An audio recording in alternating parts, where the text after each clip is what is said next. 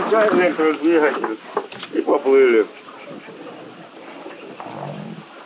А там веслами потом помогаю.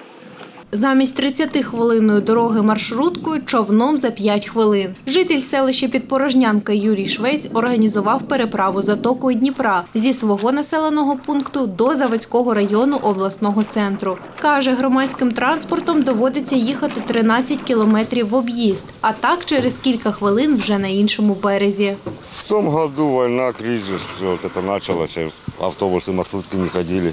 Решили организовать лодку В том году в начале июня организовали, в этом в середине июня. Юрій Швець каже, працює 7 днів на тиждень з 6 до 19 години. В маршрут відправляється щогодини. По телефону звонят, как бы расписание повесили. Здесь, у нас на берегу, на магазине, на остановке, как бы. Ну, да, люди и так просят, многим, ну, неудобно сильно. Ну, маршрутки полные, люди не влазят.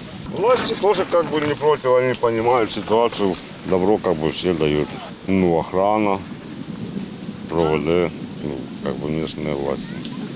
Ну да, они же понимают, какая у нас ситуация. Ну.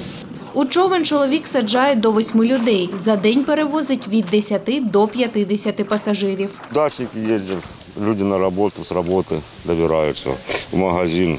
Шість днів на тиждень користується водним транспортом Ірина Воробйова. Каже, зупинка транспорту знаходиться на іншому кінці селища, а затока в кількох хвилинах. В забитой э, маршрутке ехать пока до Огнеупорного, потом там пересадку сюда и ну, очень долго э, по времени. У ребенка с суставами проблемы тоже это пока обплывешь вокруг все.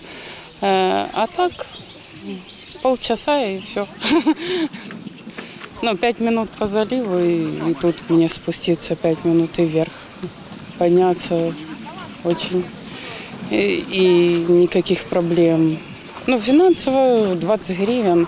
Э, Но если мне вокруг объезжать, 12 гривен там, плюс еще 24 выходит.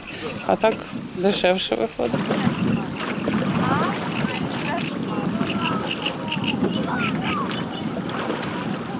Єлизавета Баздарєва, Карина Голунова, Андрій Варіонов, Суспільне, Новини Запоріжжя.